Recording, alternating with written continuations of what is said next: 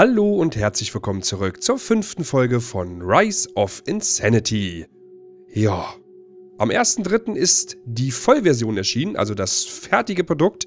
Wir haben ja in den letzten vier Folgen nur die Early Access Version gespielt. Da sind wir am Ende. Wenn ihr nochmal gucken wollt, ich werde euch das hier in dieser Info-Funktion da von YouTube da verlinken, die letzte Folge, falls ihr euer Gedächtnis nochmal auffrischen wollt. Am besten mache ich die ganze Playlist rein. Falls ihr das überhaupt noch nicht gesehen habt, dann bitte nachholen.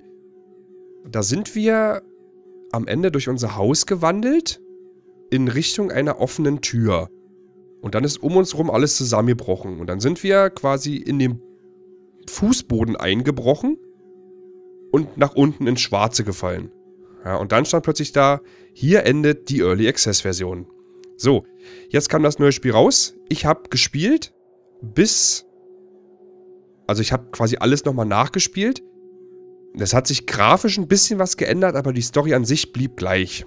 So, und dann bin ich am Ende auch wieder durch dieses Haus gewackelt und bin runtergefallen und dann bin ich plötzlich hier gelandet. Da oben fliegen irgendwelche Krähen am Himmel. Ich drehe uns mal rum. Wir sind in irgendeiner Marshmallow-Welt. Es ist super hell hier. Ich glaube, oder ich hoffe, dass man das nachher auch auf YouTube alles erkennen kann. Ich versuche da mal auch noch ein bisschen Kontrast drauf zu legen, dass man das hier irgendwie wahrnehmen kann. Okay, wir haben einen, ja, so ein ganz klassisches Schachbrett-Mosaikmuster und wie gesagt, ringsrum Marshmallows. Ich habe keine Ahnung, wie lange das noch geht und ob es sich lohnt, überhaupt eine Folge zu machen. Aber da der Entwickler so nett war und mich angeschrieben hat, hey, unser Spiel erscheint und wenn du noch einen Key brauchst, dann sag uns bitte Bescheid. Ich habe das Spiel ja schon gekauft, also habe ich dankend abgelehnt. Und das Spiel war auf jeden Fall, oder die Early Access Version war auf jeden Fall, also hat mich überzeugt, war super geil. Und deswegen ist es mir auch wert, das Spiel jetzt hier nochmal, oder euch zumindest, das Ende zu zeigen, wie es denn weitergeht. Okay. Ich bin im Übrigen immer noch ein bisschen erkältet, also wenn ab und zu äh, Hustpausen kommen, wie jetzt gleich, dann Entschuldigung schon mal im Vorfeld. Kleinen Moment.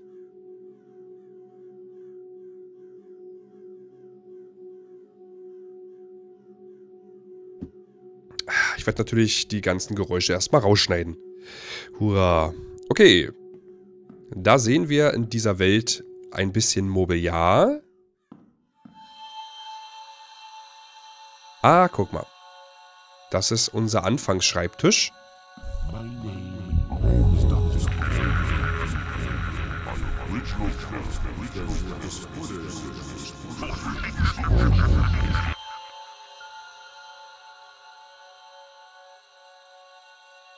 Spitze.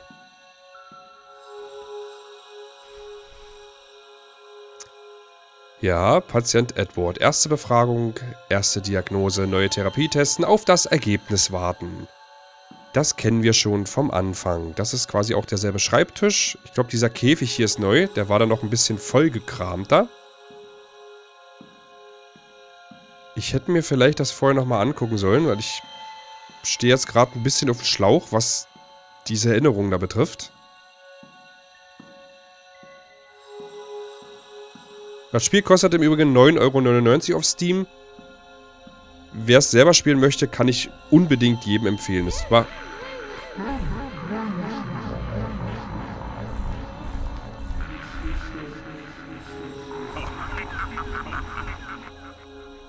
Es macht echt Spaß.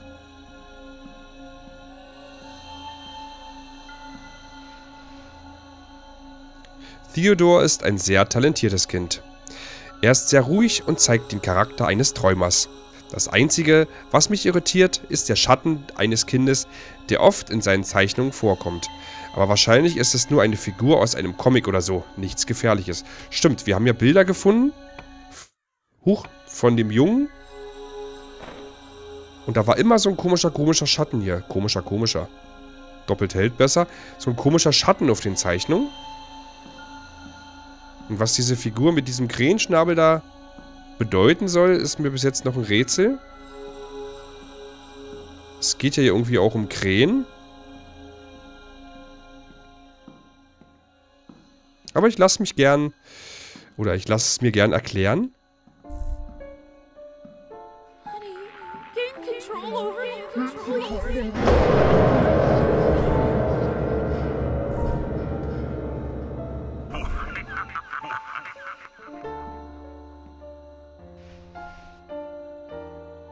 Wo liegt die Grenze zwischen der Realität und dem Traum? Das ist unser Leben? Ist es der Träumer oder die Träume, die er träumt? Sag mir, liebe Susan, was würdest du tun, wenn du nicht schlafen könntest? Würdest du den Traum kontrollieren, der nicht einfach zu dir kommt, sondern dich heimsucht? Eddie. So, gucken, dass ich hier die richtigen Tasten drücke. Da liegt noch was. 17.08.73. Teddys dritter Geburtstag war toll. Wir haben im Garten gefeiert.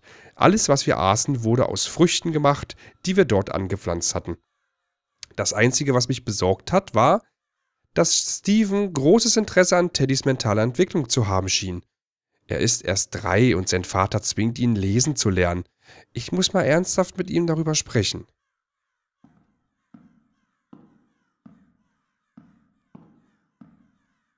Okay.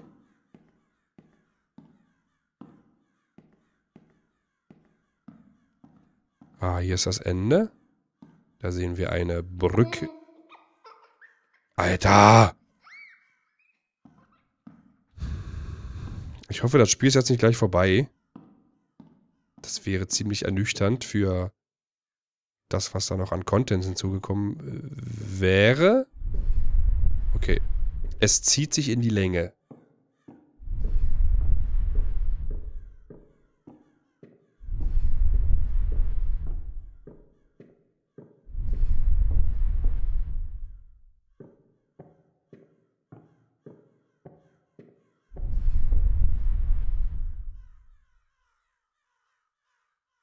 Hä? Okay, cool.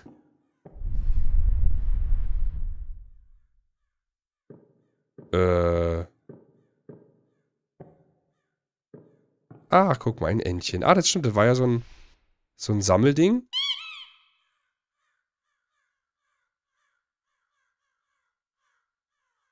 Ähm. Ach, hier.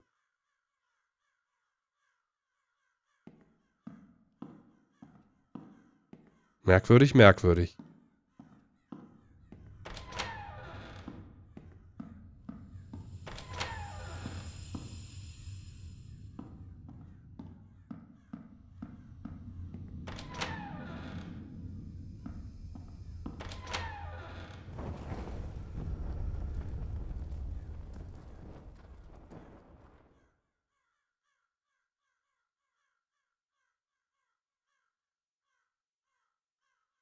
Okay.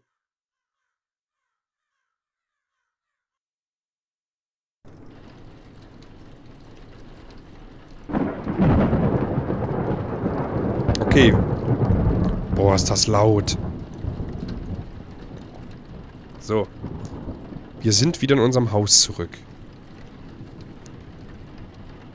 Draußen schüttet es. Steven, can I get into the bathroom for a while? Mach mal. Guck mal, jetzt könnt ihr auch nochmal die Grafik vergleichen. So. Oh. Eine Krähe auf einer Schippe, die im Boden steckt. Gucken uns nochmal hier in der Küche um, ob es da irgendwie was Neues gibt. Da liegt ein Messerchen. Die schönen Blumen. Oh, Yummy Yawn Toasted Pastries. Pff, wie Kekse.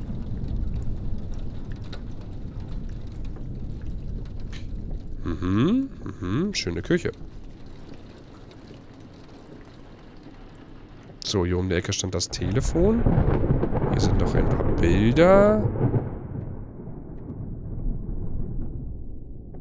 Okay. Ach, guck mal, hier war doch alles abgesperrt irgendwie. Da war doch überall dieses Police Line Do Not Cross oder so. Okay.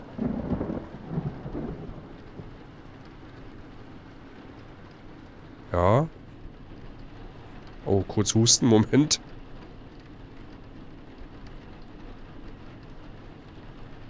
Meine Güte.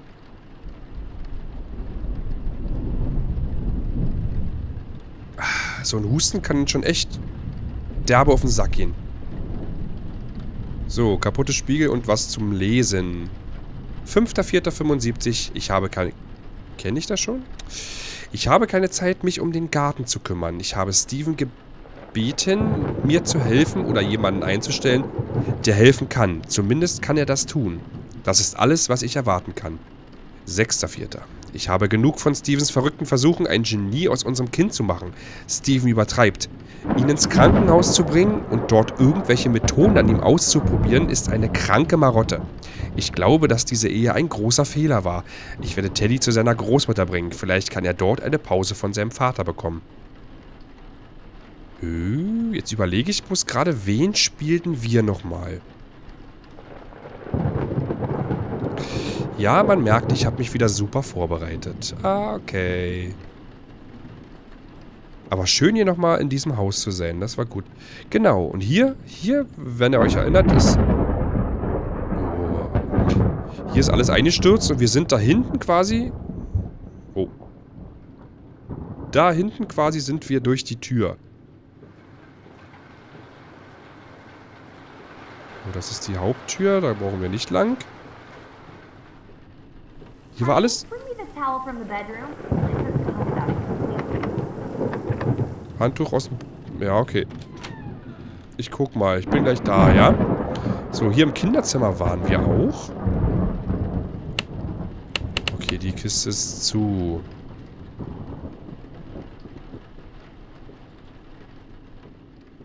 So, und hier...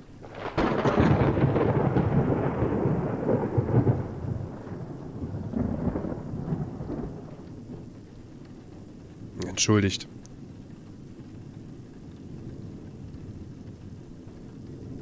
Ich konnte jetzt nicht mehr länger warten mit dem Aufnehmen. Da müsst ihr jetzt mit mir durch. Äh, genau. Auf diese Tür sind wir zugelaufen und dann sind wir hier runtergefallen und dann war die, das erste Let's Play quasi vorbei.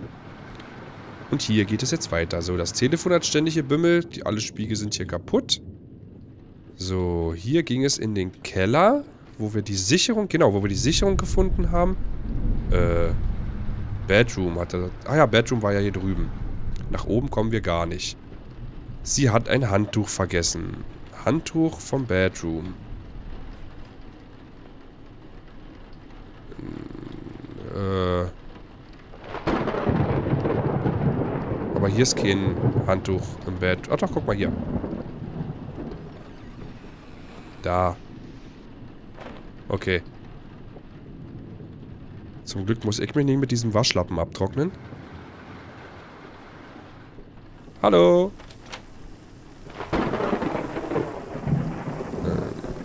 So, nicht, dass kalte Luft reinkommt. Ich habe dein Handtuch, Schatz. Hier.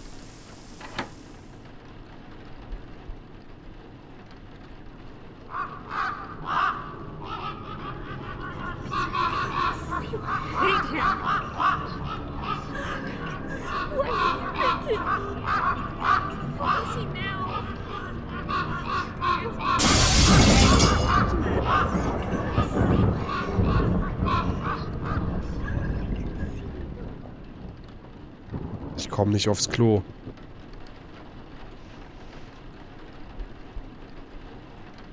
Ich bin in einer Zwickmühle, was unsere Beziehung angeht. Steven ist mein Arbeitgeber und ich schulde ihm eine Menge. Aber ich weiß, hier geht es nicht um die Unterhaltung in Briefen. Treffen wir uns in zwei Tagen am üblichen Ort im Garten. Es ist schon wieder der Gärtner. Okay. The door is already opened. And the telephone rings. Ich komme nicht nach oben.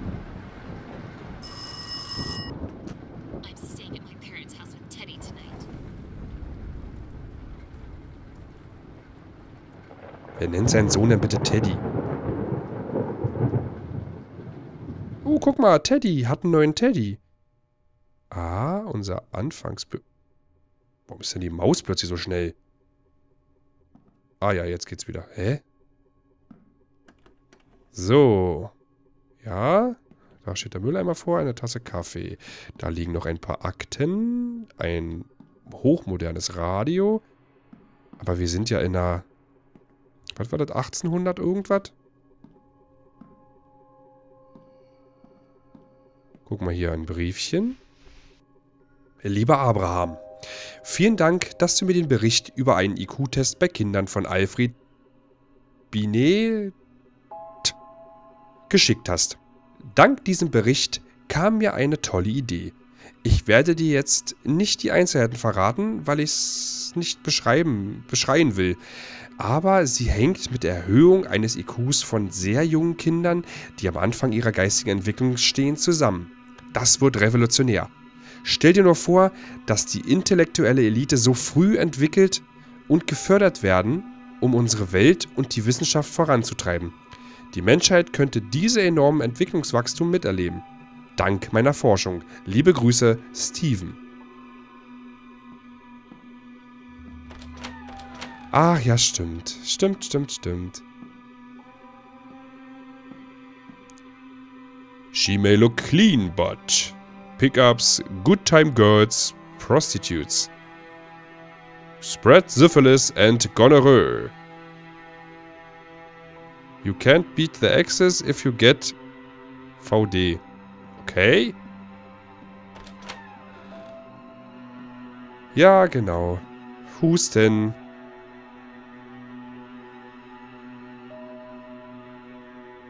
Es tut mir leid. So, hier haben wir diesen komischen Geheimcode damals bekommen. IGIT, wie man hier ein Auge seziert oder so. Irgendwelche Akten. Hier ist eine leere Schublade. Den Code unten für dieses Zahlenschloss in diesem schönen, ähm, dieser Leichenhalle da. So, da sind wir nicht reingekommen. Hier stand auch noch eine, eine, eine Bahre mit irgendjemandem drauf und Fliegengeräusche hat man gehört. Das sind nicht die Klos. Die Kiste ist zu. Ah, ja. Research theme. The test of the therapy increasing the intelligence among children. The subject of the research, Theodore Dowell. The first attempts to increase IQ, I started using suggestion and manipulation method during REM sleep. The subject handled the experiment very well. I began the observation and started the manual visual tests phase. Teddy ist überhaupt kein Name. Teddy ist ein Spitzname von Theodore. Entschuldigung. Ich nehme alles zurück. So, ein Videoprojektor und da... Oh Gottchen. Oh, ein kleines Babybett.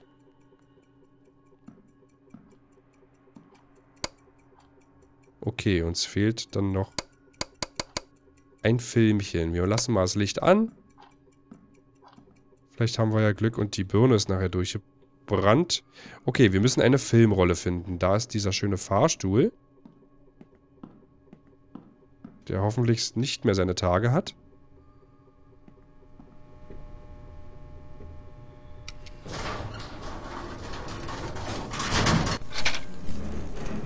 So, Fahrstuhlzeit nutze ich mal schnell zum Husten. Mann, ist mir das blöd.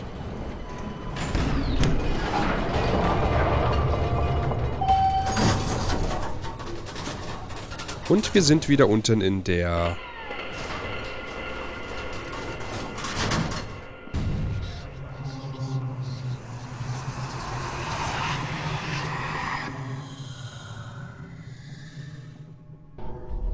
Oh fuck.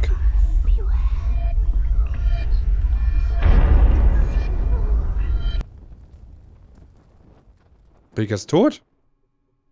Habt ihr gesehen, die Ketten von den Türen waren weg. Ach du heiler Strohsack.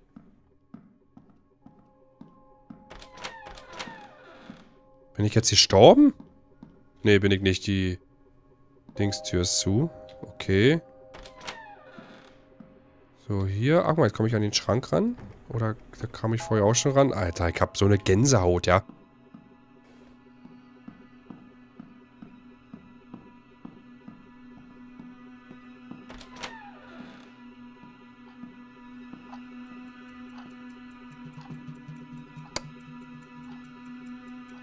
Hä, da stecken noch zwei Filmrollen. Ach nee. Doch Ines voll?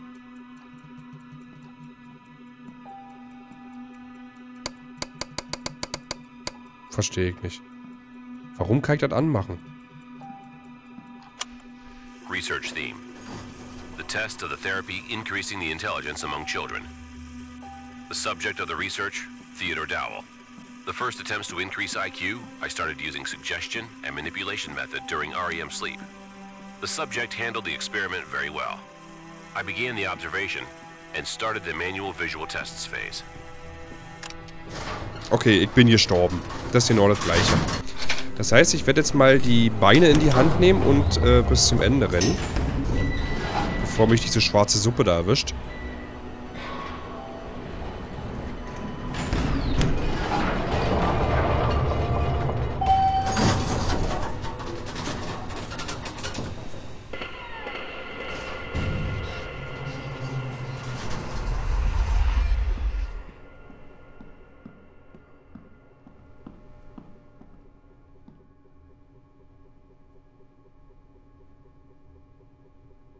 Ah, da hab ich eine Gänsehaut. Meine Fresse.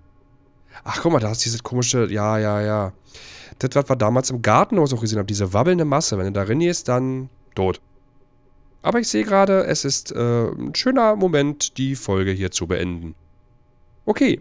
Ich bedanke mich für das Dabeisein in Folge Nummer 5. Ich hoffe, ihr habt das davor auch schon gesehen. Und dann sehen wir, uns in, sehen wir uns in Folge Nummer 6 wieder. Wenn es jetzt nicht mehr allzu lange gehen sollte, was ich leider nicht weiß, dann kommt jetzt gleich im Anschluss so, wie es weitergeht. Alles klar. Dann sehen wir uns gleich wieder. Oder bis zur nächsten Folge. Okay. Vielen Dank fürs Zusehen und bis dann. Ciao, ciao. I would like to enclose the report about my client's insanity to the evidence. Could you tell us about the relation that was between you and Mrs. Susan Dow? Guilty, guilty. What a weird case. I think sometimes that I messed up. You shouldn't be there. A family tragedy. A mother and child were murdered. Weird case. Weird. Weird case. So, can we continue? Great. Weird case only. Experimental methods. Only experimental.